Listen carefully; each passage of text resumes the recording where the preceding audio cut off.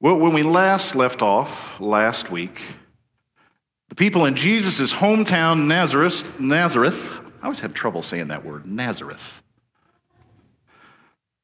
The people in Jesus' hometown, they were trying to kill him. Why? Because he interpreted the prophet Isaiah in a way that they didn't necessarily approve of. Yes, the year of the Lord's favor was available to the poor and the marginalized and the outcast and the oppressed, but it was to all of them, not just the people of Israel. And a- after he escaped, after he escaped Nazareth, those who were trying to throw him off a cliff, he traveled to Capernaum. There's about 62 kilometers on this winding trail, a few days away of walking. It's northeast of Nazareth, and it's on the banks of the Sea of Galilee. So, in today's scripture, if it talks about a lake and uses a different word, that's what it's talking about the Sea of Galilee. It has multiple names for it. And once he got there, he went right back to doing the very thing that nearly got him in trouble going into synagogues around there and preaching. But the people of Capernaum weren't offended by him, they were amazed by him, at least for now. And he even started healing people and casting out demons. The whole region knew about Jesus, this man that taught with power and cast clean spirits. And one Sabbath day, Jesus was leaving the synagogue, and a man named Simon brought him to heal his sick mother.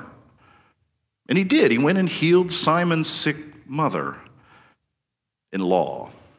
And people all over were bringing sick relatives to Jesus and people that they believed to be possessed with evil, unclean spirits. And he healed them and he cast out these demons. And the crowds kept coming and coming. And soon began this giant game of hide and seek with Jesus. Jesus would, would draw to a deserted, deserted place, and the crowds would eventually find him. Jesus wanted to preach, but the crowds, they wanted more, they wanted healing, and it was exhausting. He'd withdraw and they'd find him again. But he stayed in that region, preaching in all those local synagogues. And so that is where we are at today when we hear our scripture from Luke 5 1 through 11. Listen for God's word for you. One day, Jesus was standing by Lake Gennesaret, Sea of Galilee. When the crowd pressed in around him to hear God's word, Jesus saw two boats sitting by the lake. The fishermen had gone ashore and were washing their nets, and Jesus boarded one of the boats, the one that belonged to Simon, then asked him to row out a distance from the shore. Jesus sat down and taught the crowds from the boat. And when he had finished speaking to the crowds, he said to Simon, Row out further into the deep water and drop your nets for a catch. Simon replied, Master, we've, we've worked hard all night and we've caught nothing. But if you say so, I'll, I'll drop the nets. So they dropped the nets, and their catch was so huge that their nets were splitting. And they signaled for the partners in the other boat to come and help them. They filled the boat so full that they were about to sink. When Simon Peter saw the catch, he fell at Jesus' knees and said, Leave me, Lord. I'm a sinner. Peter and those with him were overcome with amazement because of the number of fish they caught. James and John, Zebedee's sons, were Simon's partners, and they were amazed too.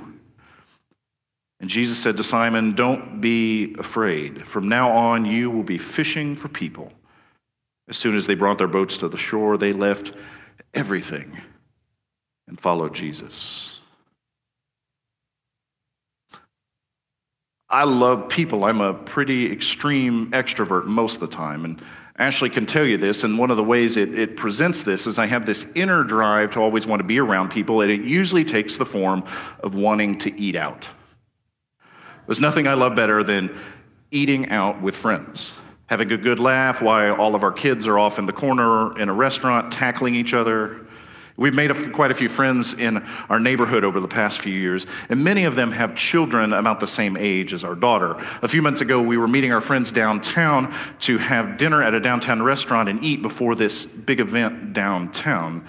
We, we convinced Papa's and Beer, the Mexican restaurant downtown, to let us use their party room for dinner in the back. So 12 adults and 15 children between the ages of two and seven crammed into this room at the back of the restaurant. Adults trying to have their grown up conversations while also attempting to parent at the same time. You know how that goes. So, what I was saying is, I really like that book on the educational system that my wife was reading in the book club. Hey, stop it. Stop. This is a restaurant, not a wrestling ring. Yeah, so my wife was reading this book club, and I really like, okay, two hands, two hands, and now we have our first spill of the night. Great. So uh, I really like the way the author used the, the idea of play. Oh, what? You want mac and cheese? Of course you want mac and cheese. I understand. It's when's it going to get here? I, I don't know. We haven't ordered yet. Just be patient. I know you're hungry. Have you even washed your hands yet? Of course you haven't. All right, let's go wash them. I'm sorry. I'll be back in about three to 20 minutes, and we'll finish this 10 sentence conversation that will probably take 30 minutes. In the midst of this chaos walked this sacrificial lamb, a single solitary waiter to try and take our order from this ever growing minefield of spilled, drink, spilled drinks and games of tag. It's enough to make you want to go and find your happy place and just lay down there for a week. Privacy. That's why the amount of time a man spends in a bathroom is directly proportional to the total number of people that live with him.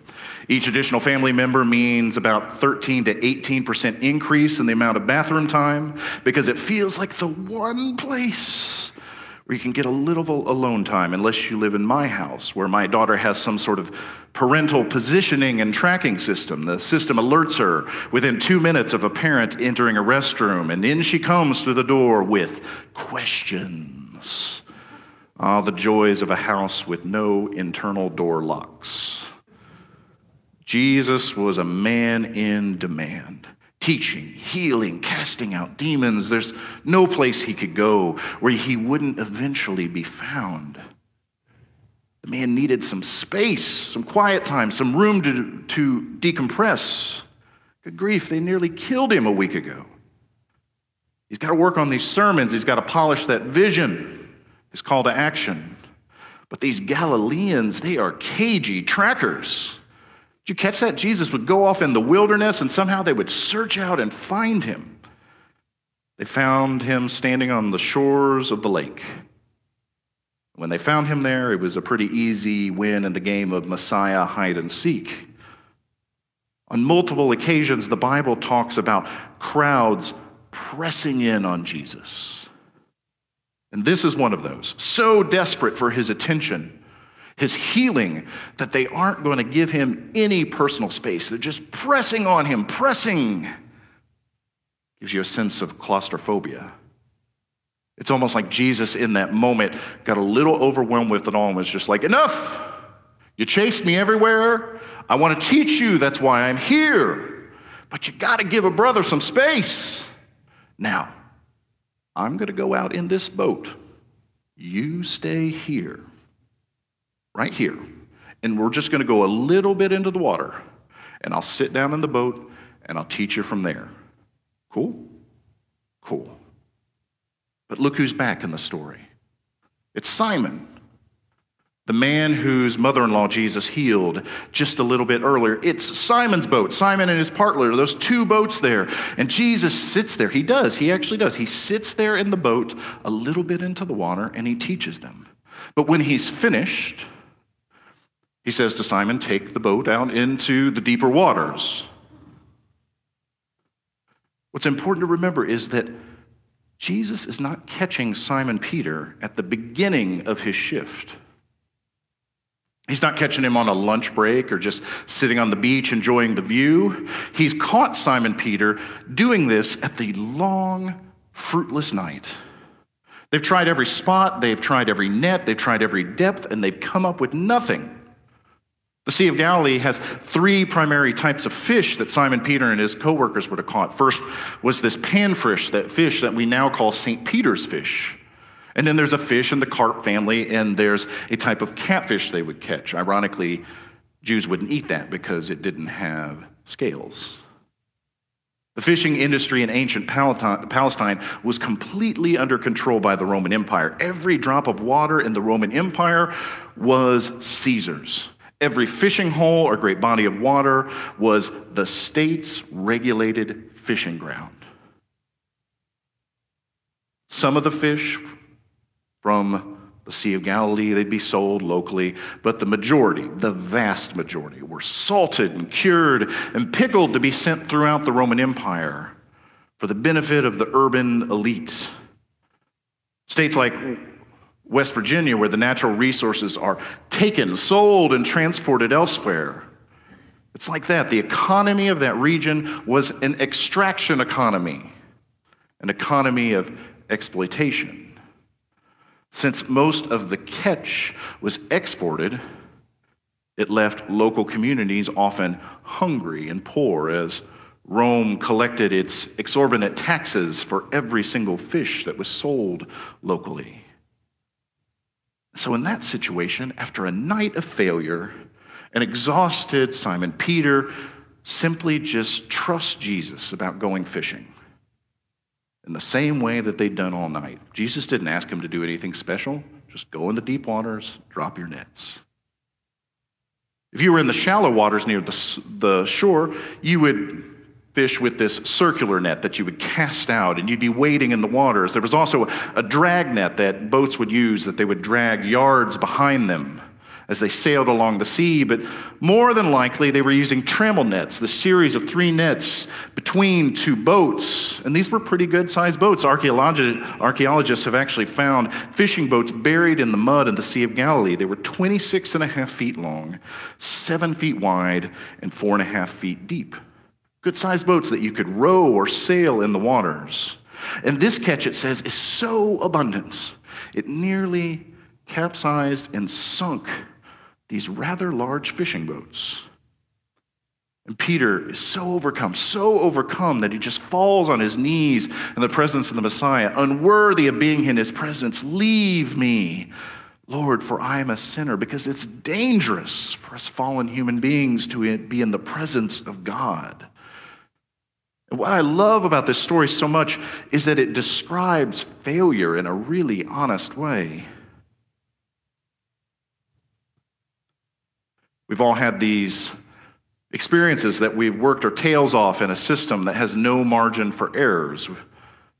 And just like these apostles, they were trained, they were taught for years to find all the best spots, the good fish, fishing techniques, the best practices, and yet they failed and they were worn out and probably desperate. I think we can all identify with that. We know what it is to pour ourselves into a task, a job, a dream, a relationship, spend hours in preparation and investments, only to have it blow up in our face. I was nearly defeated by a garage door this weekend that refused to close. And what's worse is my garage door is a smart garage door that has an app on my phone that keeps reminding me, your door's not closed, your door's not closed. Gee, thanks, Chamberlain. You're very special. Thanks for telling me that. You've made my Saturday wonderful.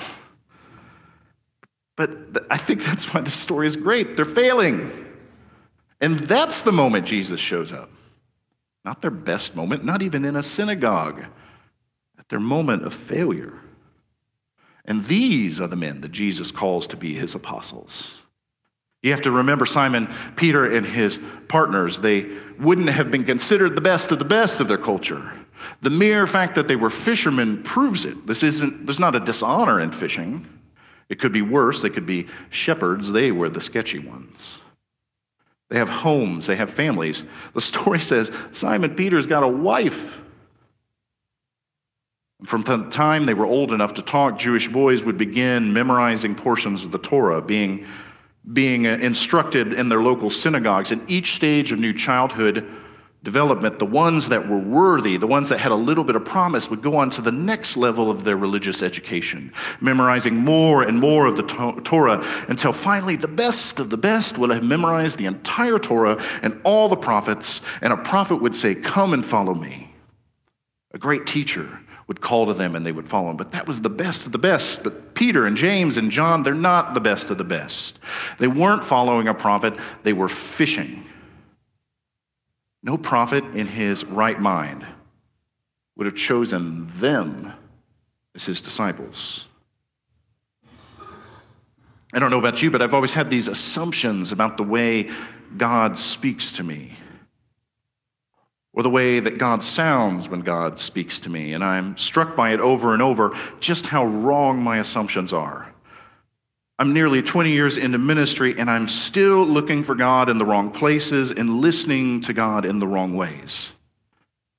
I always expect and assume that God calls and speaks to me in places like this, in holy places, and set aside holy times.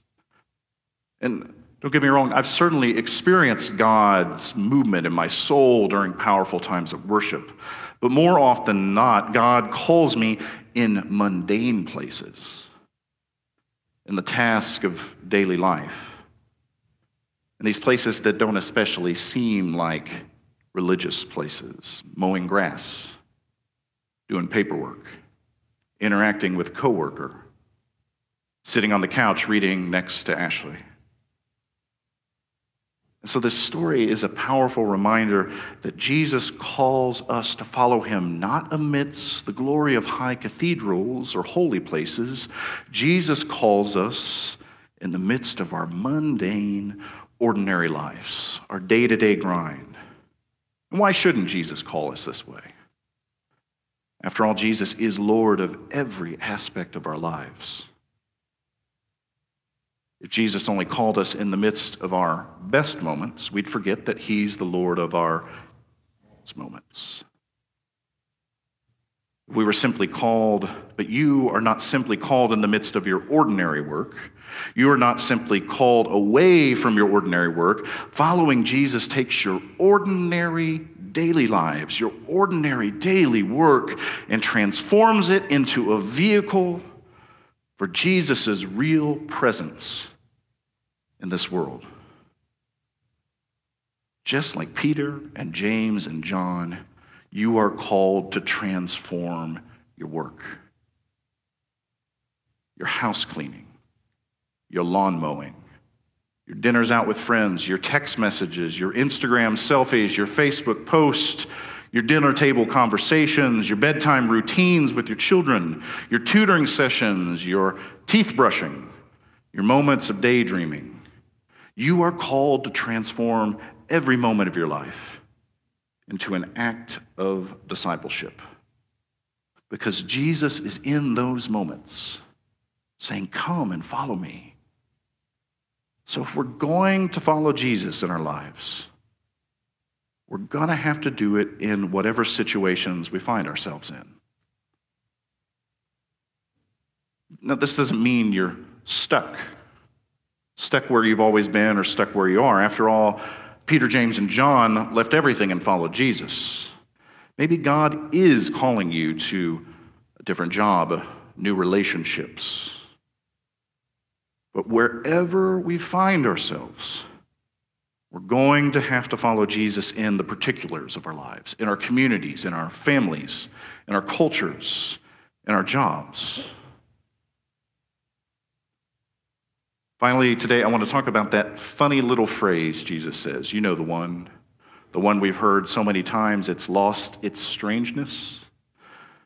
Don't be afraid. From now on, you will be fishing for people.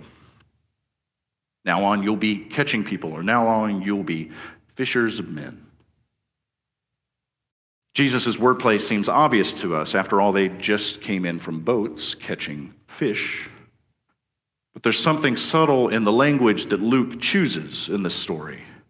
The Greek word that our Bibles translate as catch is not the same word those ancients would have used to say catch fish.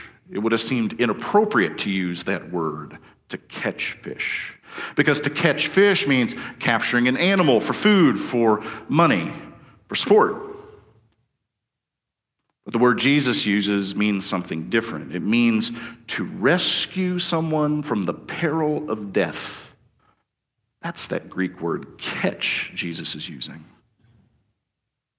The word wasn't meant as an allusion to fishing, it was meant as a contrast to fishing. Do not be afraid. You're catching fish for food. To catch an animal, means ending its life. From now on, you are following me, which means you'll be taking women and men alive, catching them, rescuing them from their perilous lives.